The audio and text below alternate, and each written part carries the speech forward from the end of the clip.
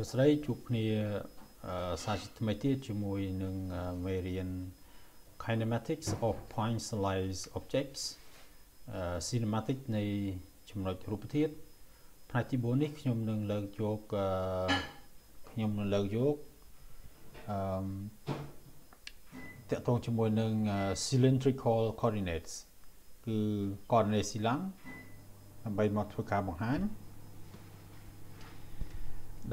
តែប៉ុន្តែមុននឹងចូលនឹងកននៃស៊ីឡាំងខ្ញុំរំលឹកតកតងជាមួយនឹងកននៃប៉ូលេព្រោះវាតកតងជាមួយនឹងកននៃស៊ីឡាំងអញ្ចឹងនៅក្នុងកននៃប៉ូលេយើងបាន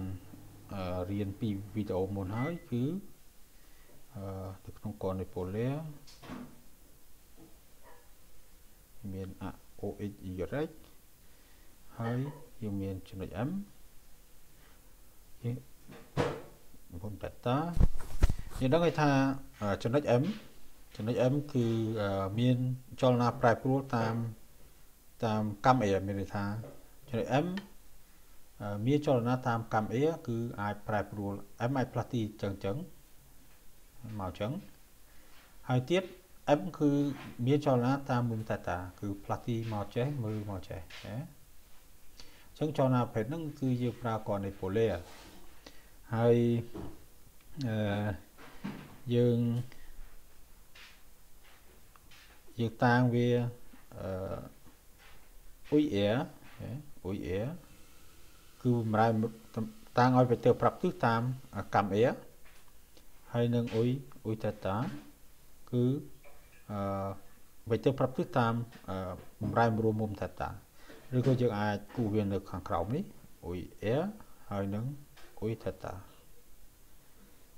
ហើយនៅក្នុងករណីប៉ូលេយើងមានករណីរបស់វាគឺ air ហើយនឹង theta ហើយយើងបានអឺតំណាក់ទំនងរវាងអ៊ុយ air ហើយនឹងអ៊ុយ x y គឺ cos theta អ៊ុយ x បូកជាមួយនឹង sin theta អ៊ុយ y ឬយើងអាចទៅសេអឺយើងអាចទៅសេជាជា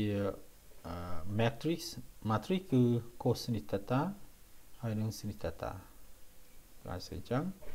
ហើយមួយទៀតគឺ oi theta oi theta គឺស្មើដកនឹង sin theta oi x បូកជាមួយនឹង cosine theta oi y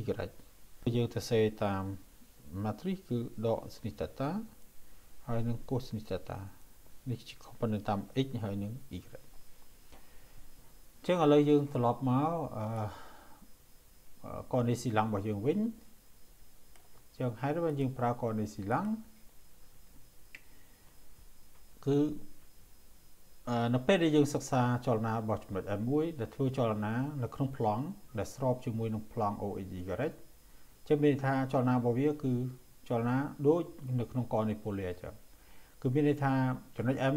ធ្វើចលនាដែលមានម្រែមរួលតាមកម្ពុជាគឺរ៉ូ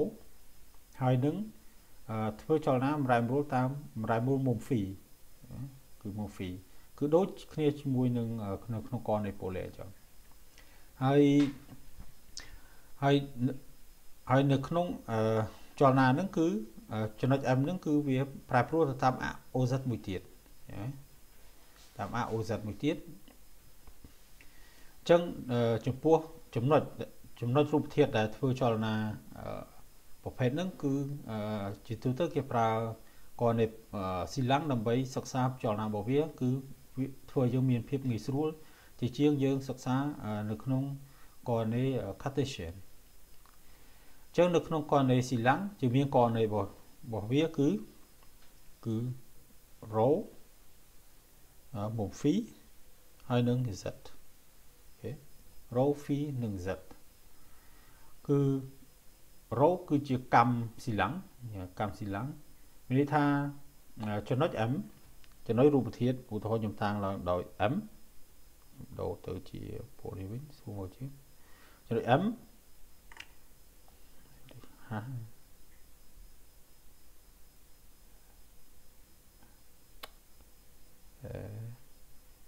ចំណុច M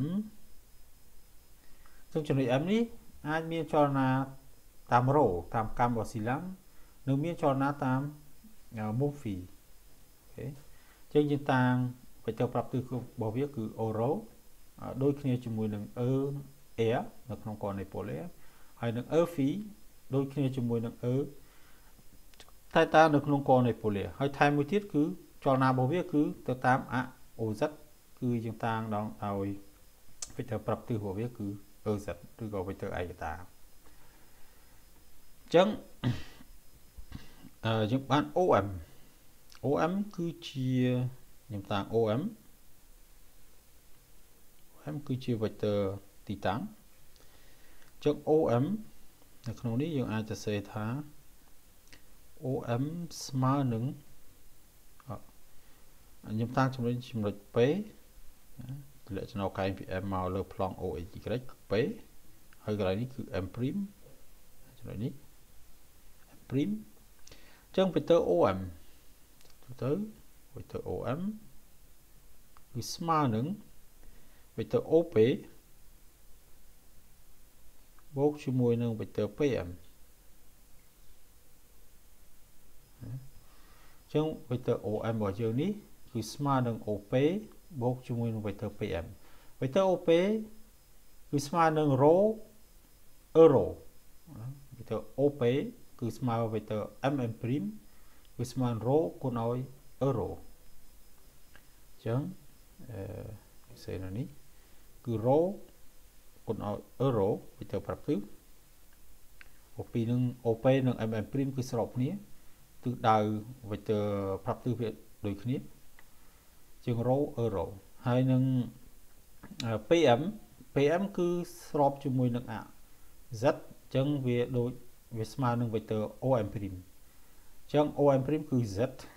យើងតាំងឡើងដោយ Z Z ហើយទិសដៅតាមអ Z គឺ EZ អូខេហើយ euro ហើយនឹង ev គឺដូចគ្នាជាមួយនឹង er និង e theta ណាគឺវាមាន component របស់វាគឺ cos theta sin theta ហើយ0 0គឺជា z តាមអា z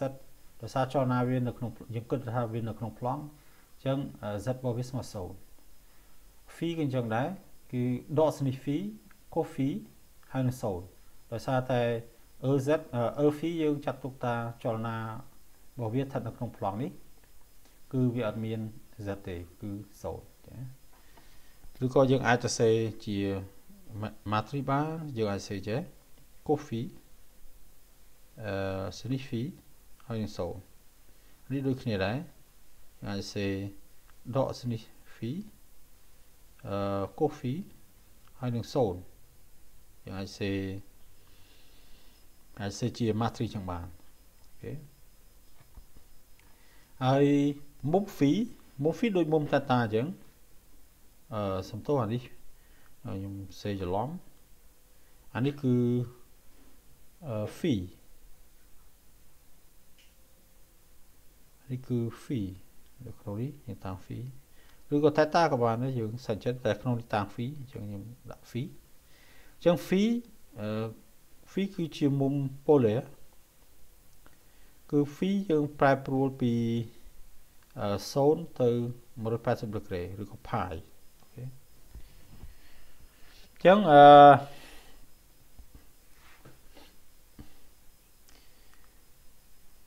អញ្ចឹងកននៃប៉ូលៀងជាទូទៅគឺជាលក្ខណៈពិសេសជាលក្ខណៈពិសេសរបស់កូននៃស៊ីឡាំងនៅពេលដែលចលនាវានៅក្នុងប្លង់មានថា z វាស្មើ0អញ្ចឹងបើចលនានឹងថែមបំរែបំរួលតាមអឺ az មួយទៀត គឺយើងត្រូវប្រើកណេស៊ីឡាំងចឹងខ្ញុំបញ្ចប់កណេស៊ីឡាំងទៅត្រឹមហ្នឹងហើយយើងនឹងបន្តទៀតនៅផ្នែកផ្សេងផ្សេងទៀតនៅក្នុងមេរៀន cinematic របស់យើងនៃ cinematic នៃចំណុចរូបធាតុរបស់យើងអញ្ចឹងអឺបងបងប្អូនអឺ